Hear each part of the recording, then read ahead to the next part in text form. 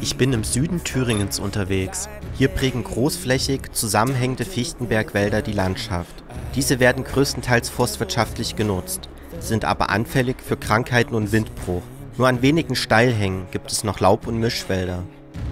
Down to the river, down to the river.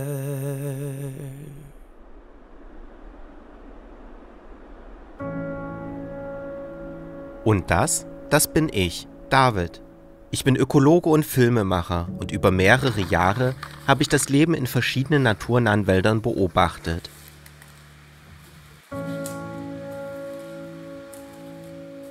An verschiedenen Orten richtete ich Untersuchungsstellen für ein Wildtiermonitoring ein.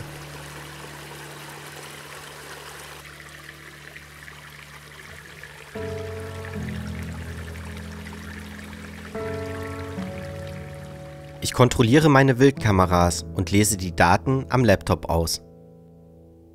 Eine der häufigsten Arten hier im Thüringer Schiefergebirge ist der Rothirsch. Dies ist zwar eine typische Art für Waldbiotope, ursprünglich ist der Rothirsch aber eine Art offener und halboffener Landschaften. Durch den Menschen wird er aber in Mitteleuropa hauptsächlich in größere Waldgebiete zurückgedrängt. Ursprünglich wechselten Rothirsche über große Strecken zwischen Sommer- und Wintereinständen. Aufgrund der Verdrängung durch den Menschen, die Zerschneidung der Landschaft und dem Verlust von Lebensraum sind diese Wanderungen kaum noch möglich.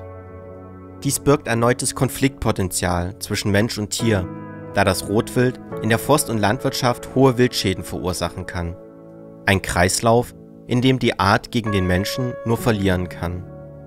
Rothirsche leben in sozialen Gruppen zusammen. Diese können sich in ihrer Größe je nach Lebensraum unterscheiden Dabei ist das Zusammenleben im Rudel oder Trupp für die Tiere essentiell. In den Aufnahmen sind oft Hirschkühe mit ihren Kälbern zu beobachten. Die lästigen Mücken stören Mutter und Junges gleichermaßen. Dagegen hilft zumindest für kurze Zeit ein kühles Bad im Wasser und Schlamm. Die Entwicklung des weiblichen Rothirsches ist etwa im fünften Lebensjahr abgeschlossen, die des männlichen Hirsches circa im sechsten Lebensjahr in Ausnahmefällen können Rothirsche in freier Wildbahn bis zu 18 Jahre alt werden. In den Aufnahmen kann man über die Zeit ebenfalls gut die Entwicklung des Geweihes beobachten. In ihrem ersten Lebensjahr bilden junge Hirsche unverzweigte Geweihe aus, weswegen sie auch Spießer genannt werden. Die Geweihbildung beginnt bei den männlichen Hirschen ungefähr im März und dauert bis ca. Juli bis August an. Bei großen, ausgewachsenen Hirschen wiegt das Geweih ca. 4 bis 5 Kilogramm und wird von Februar bis April abgeworfen. Gleich darauf beginnt die Geweihbildung von neuem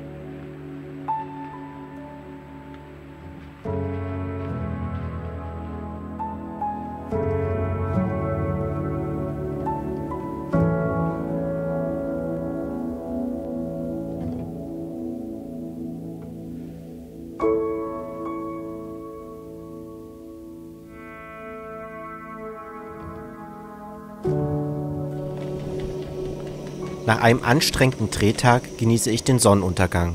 Es gibt noch einen Kaffee am Straßenrand, bevor es weiter zur nächsten Location geht.